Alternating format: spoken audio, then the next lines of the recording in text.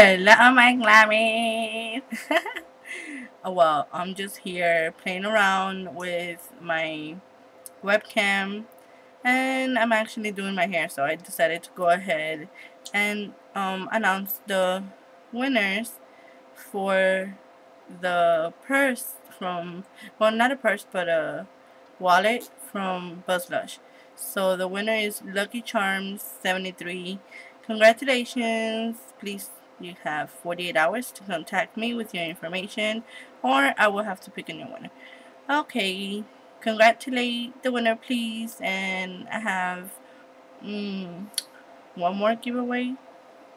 Maybe more coming.